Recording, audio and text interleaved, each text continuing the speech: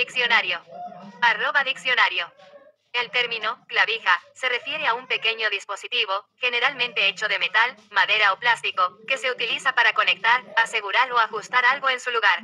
En contextos musicales, la clavija es una pieza que se encuentra en instrumentos de cuerda como guitarras o violines, y que sirve para tensar o aflojar las cuerdas, ajustando su afinación. En contextos eléctricos, una clavija es una pieza que se inserta en un enchufe para establecer una conexión de corriente. Su función principal varía según el contexto, pero siempre implica algún tipo de conexión o ajuste.